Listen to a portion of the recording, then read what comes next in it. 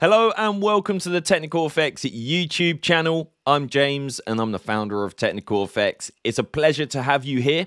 This is Technical Insights and it's episode number 143 and we've just reached 47,000 subscribers and I really appreciate you all subscribing and if you're not, please do subscribe, like and comment. I appreciate you being here. In this week's episode, we're going to be taking a look at five markets. We have the US dollar index, we have the yen index, US oil, which is interesting at the moment. We've got Euro USD and Euro AUD. Those are the markets that we are going to be taking a look at this week. Of course, starting from the naked charts as always. Let's get into it. This here is the US dollar. So um, we do the same thing on all time frames. So let's first of all start off on the daily time frame and get our overall direction. That is our higher low point. We had our previous higher high right there. And this here is our current higher high point. So we have seen price currently take a uh, retracement here on the daily time frame, bringing us in this trading range down into the 61.8 or close into the 61.8 retracement there. Also aligning with previous structure points, so we're retesting the previous daily structure point right here. And we did also close some of this imbalance, or sorry, we've closed all of this imbalance right here. Only imbalance on the daily time frame left behind is down here at the 78.6. Price could potentially roll over, but we would need to see impulsive movement to the downside from here. Um, and that would, of course, show next week. And if we do see that shift, then, of course, that would show us the downside movement. But for the moment, expecting continuation to the upside. We always expect trending movement to continue until we do, of course, see a structure fail. And then we can, of course, see a shift in direction. So until we see that, we expect structures to continue. Um, that is currently the daily time frame. Let's go into the four hour time frame here. So the four hour time frame structures, we had this higher high, we had this higher low into this higher high. Price up here failed to close above this high, meaning that this is our higher high point. Um, and we've currently seen price within this range retrace quite deep. Price is actually, let's just remove this for the moment. Um, price is actually retraced deeper than the 78.6, near enough a 100% retracement here. So you can see their price dipping below the 78.6, near enough a 100% retracement there within this four hour time frame trading range. So if I just drag that across, you can see that the four hour time frame trading range is higher low into our higher high. This here is our corrective range uh, movement to the downside, sorry, retracement to the downside. Now we're seeing continuation movement to the upside. One thing we must remember though is that we could see potential range in movement at this area of high to build liquidity. We saw this previous. Look here, right? What happens? Price ranges building liquidity before we see price break through. Um, that happens over and over again, purely and simply to create a resistance in a bullish market to entice sellers before the market pushes through. So you can look at that and anticipate that um, from that there. If we do see price, of course, react from this high here um, on the daily time, uh, sorry, on the daily high of the dollar. So we've established there that currently the daily time frame and the 4-hour time frame are bullish. They're both reacting from an area of interest. We now need to take a look at the 1-hour time frame. So here on the 1-hour time frame, we did previously, not last week, the week prior, we saw price break structures to the downside. This here created a higher low and a higher high. We just closed above. We never on the 4-hour, but we did on the 1-hour, creating 1-hour time frame structures. Therefore, we saw price break to the downside, creating a lower low.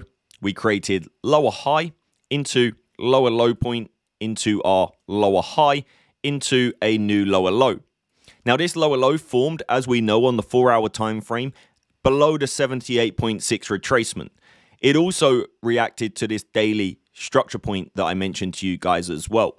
It is also reacting to an area down here of one hour time frame imbalance.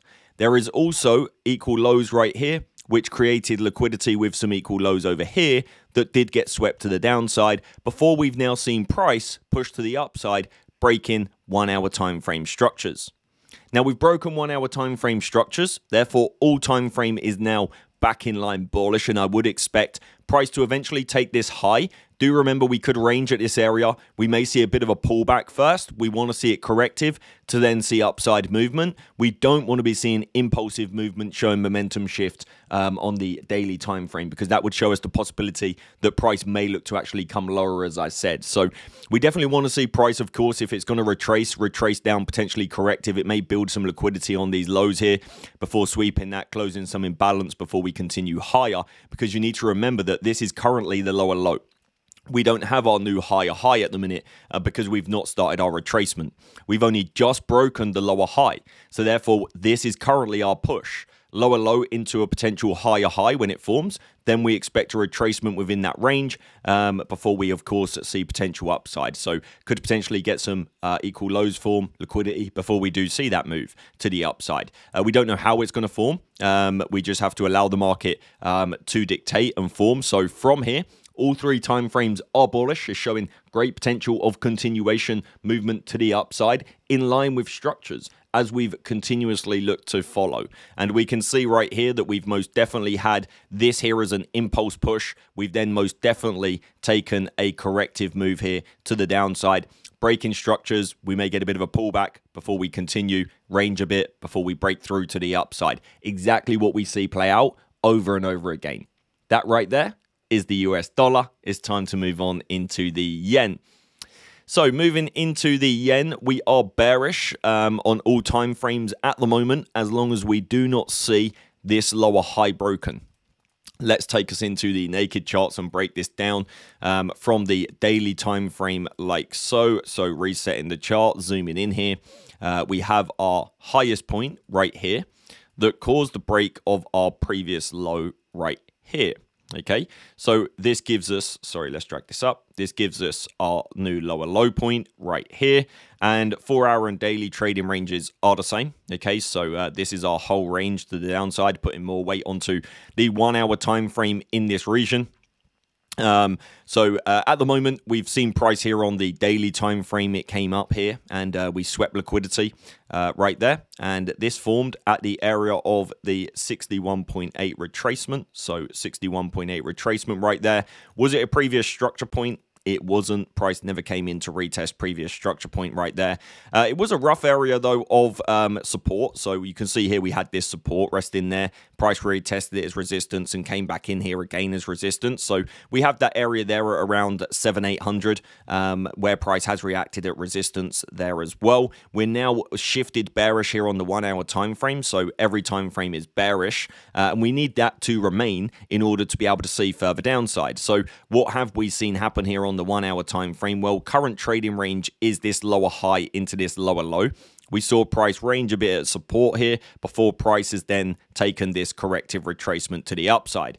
We are now seeing price show a smaller corrective move up here where we have seen price sweep some liquidity, tapping into the area here of that 7650 area here. So you can see area of support, area of resistance, area of resistance as well. So 7650 price is retesting. This is also a previous structure point that previously got retested as well. So nice confluence area and we don't want to see this lower high broken. Okay, so we don't want to see this broken. We want to see continuation movement to the downside, um, and then we expect this low here to be broken. We do have some imbalance below here uh, that price can, of course, look to come and fill before a potential further retracement. Um, but we're coming close into this area here, um, which, of course, is the 100%. Now, when, when I say that we're coming close into this area, by that I mean we've got less trading space.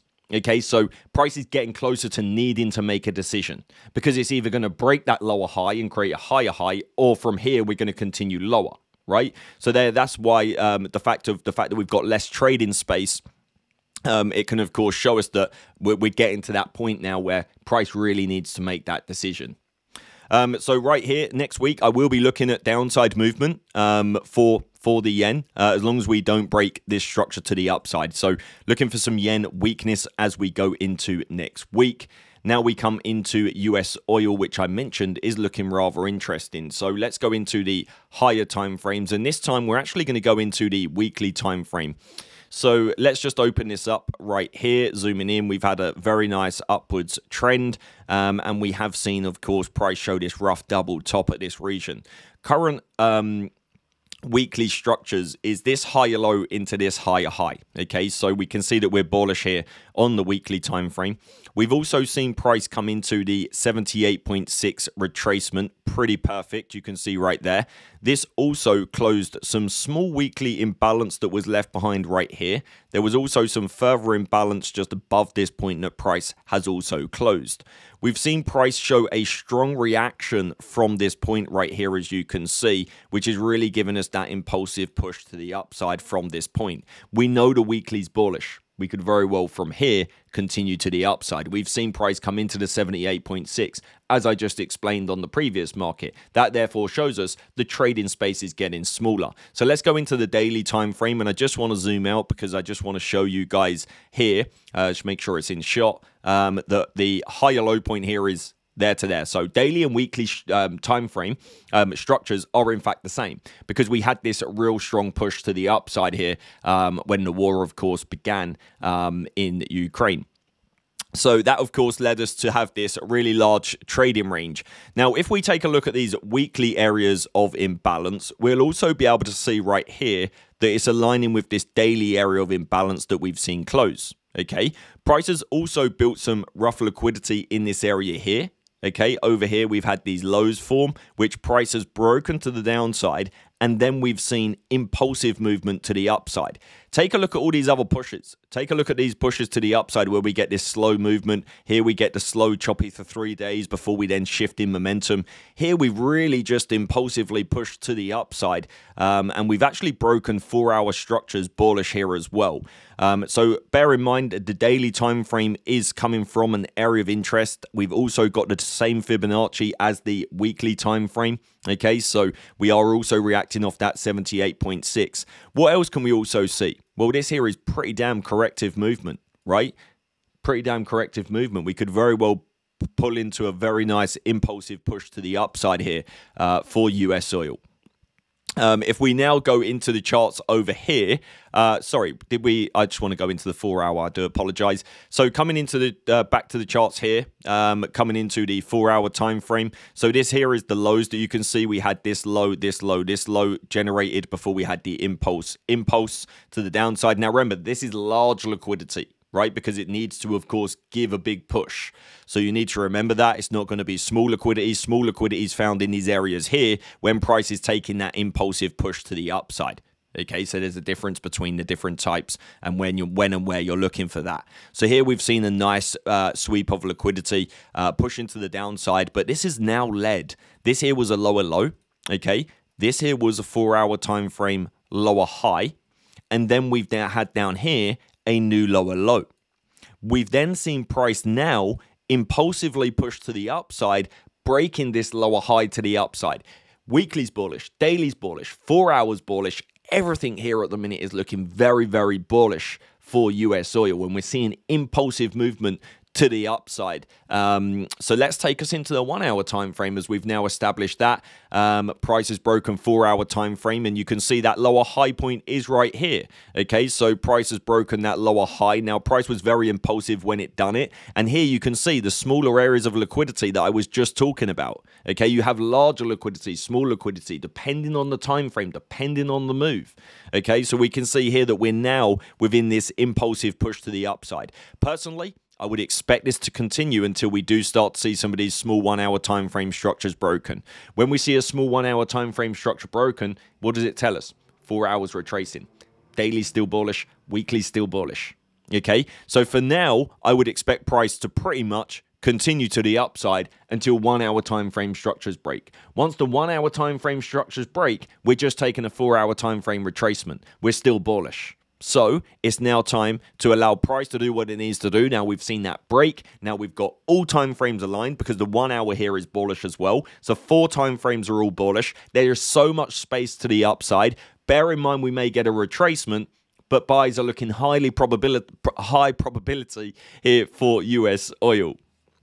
Um, so that there is oil at the moment. Of course, I'm waiting for a new high to form so that we can have a trading range, so we can look for price to, of course, take a bit of a retracement uh, for continuation movement. Um, just like here, of course, we just want to see price impulse, we want a correction that sweeps the liquidity before the continuation. So we'll be looking for exact same thing, right? Once we've got a range, we do the same thing on all time frames. So uh, you can see that's exactly what I would be looking for right there within US oil.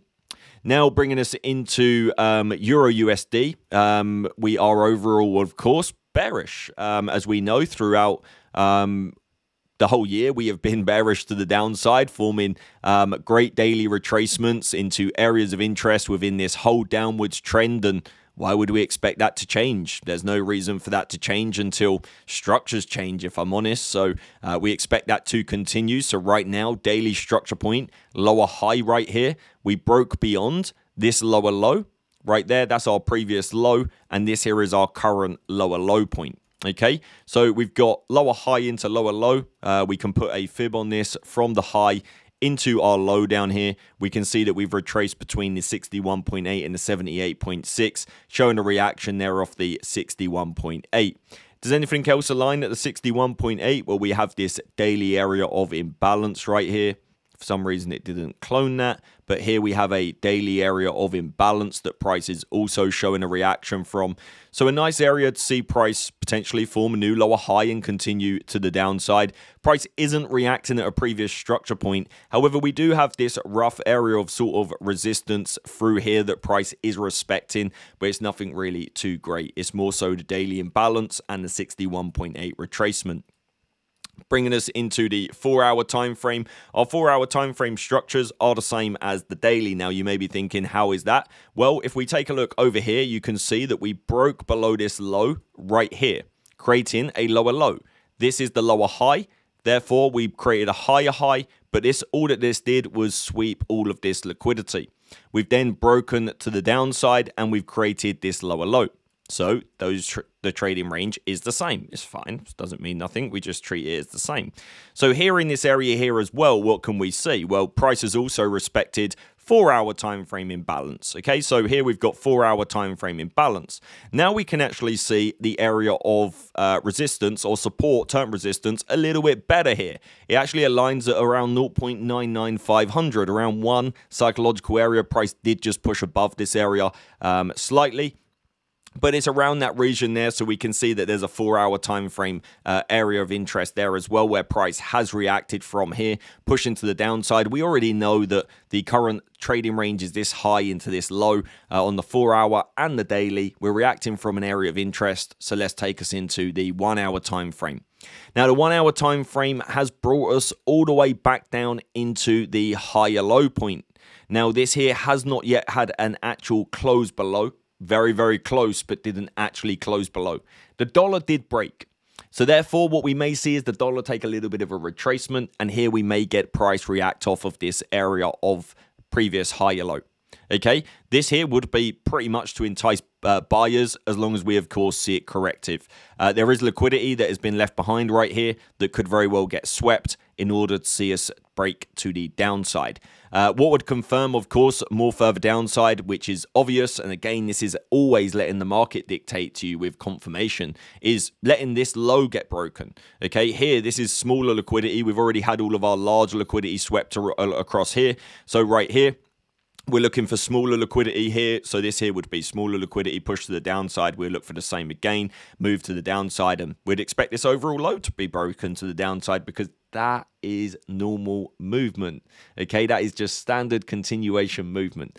Um, so we'll see if we do get that follow through next week and uh, we break this structure as well to the downside. Uh, currently, the one hour does remain bullish here for Euro USD, but we do have the daily bearish, the four hour still bearish, um, and on the US dollar, all time frames are currently bullish. So showing signs that we could very well see further downside movement here for uh, Euro USD. Um, so that is what I'm looking at as we go into next week. Last but not least, we've got Euro AUD right here. Um, and this is a market that is actually mentioned quite often in our free public community. Um, so if you do want to join that, the link is in our in is in the description below. Um, but yeah, a lot of people seem to trade this market, so I thought I would break it down as it's at an interesting point right now. So let's break down our daily structure point. So here we had this lower low point right here price broke and closed below this. Okay, so this meant that we had a new lower low point. So if this here is our lower low, the highest point that caused the break is right here. Okay, so this here is our highest point. Um, we had previously had this low, okay, and this high. When price came up into this high, we failed to close above. Okay, so failed to close above right here. And then we saw the highest point right here cause the break below this low. So therefore, this becomes our lower high. And we've now seen price do what? Push all the way back up into this high. But once again, we're failing to close above. So we're at a daily lower high point. We're yet again failing to close above. Could we do what we did before? What happened here? We shift in structures to the downside. So what could we be looking for right here? For downside, shift in structures, right? We're at the 100% of the daily time frame lower high. Prices literally at this point got no option but to either break this lower high or break lower time frame um, break lower time frame higher lows to take us back bearish to the downside so that price can come and break this low. They are the options that price has. It is as simple as that, right? So therefore, if we take that information and we just delete all of that and we take that information into the 4-hour time frame, right here what we can see is our 4-hour time frame trading range. Higher low into our higher high. This right here is our 4-hour time frame trading range. We would need to see this higher low here broken to the downside in order to take the 4-hour time frame bearish. Or we break this high to the upside and we end up with a daily close above that high. That's what price needs to show us. That's what price, that's what I'm waiting for right now. Right now in here, we've closed this imbalance. We've closed this imbalance. Right now it is choppy in this area. Price hasn't decided, right? Could be building orders. We need to allow price to dictate. This is something that not a lot of people allow the market to do. Okay, sometimes you have to wait one, two, three moves before the market aligns with what you're looking for. That's fine, nothing wrong with that. Okay, because you're looking for the high probability trades. You're the one that's patient, right? And that's what it's all about allowing the market to fulfill your edge, and that's when you take the trade. So, right here, as we're at the daily lower high, doesn't fulfill my edge to do anything unless we break that high and continue with bullish structures then we're all bullish because the 1H, 4H, and daily would be bullish. Okay. Or we break the four hour to the downside, realigning with the daily. And then we would also want to see the 1H break. Now, the 1H structures are the same as the four hour. So, therefore, all we're focused on at the moment is this higher low and this higher high. We want price to break either way. What is price doing in the middle? Building lots of liquidity. That is all that price is doing. Okay. So right now we have got equal highs. Let's put them on. So we've got equal highs right here. And just down here, we have equal lows. So right now, this tells me price is building liquidity before it looks to take its move. So I need to be patient. I need to wait for price to either break that high or I need to wait for price to break that four hour and one hour higher low to enable us to see downside movement. In that area, I'm not going to guess, I'm not going to gamble, I'm going to wait for price to dictate. Okay, if we break above this high, but we fail to have a daily close above that structure, I'm still not interested because I need to see that fulfill, right? I need to see that close. Why? Well, what happened previous? So if we go into the daily again and we just remove all drawings, what happened previous? We came all the way up, we kept wicking it, but we failed to close. What happened after that? We shifted in structures all the way to the downside, breaking this low. Why am I going to anticipate further upside if we fail to break that high? Right? It's just about being patient and letting the market dictate. It's a real interesting area. It just needs to show us its, its next hand and where it wants to go. Um, but that there has been Technical Insights, episode number 143. It's been a 25 minute episode. So for the 25 minutes, please do give us a like, comment, and subscribe. I appreciate all of you guys always tuning in every week, and we've reached 47,000 subscribers, soon to hit 50,000. If you click that button, just need you to click that button, and I will see you guys in the next episode. Have a great weekend. Bye bye.